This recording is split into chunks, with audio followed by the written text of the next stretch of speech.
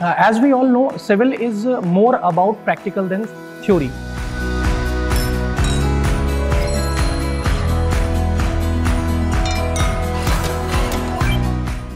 I would like to tell you as uh, we have a huge infra in terms of academics, training, placement, lab along with the field exposure.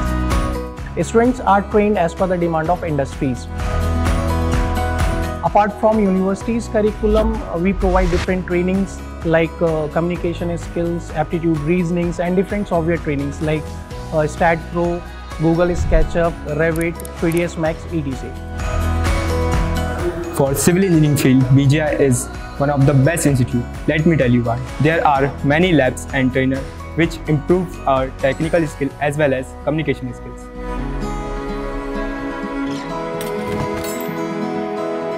BGI is always my first choice because it focuses on technical knowledge as well as practical knowledge.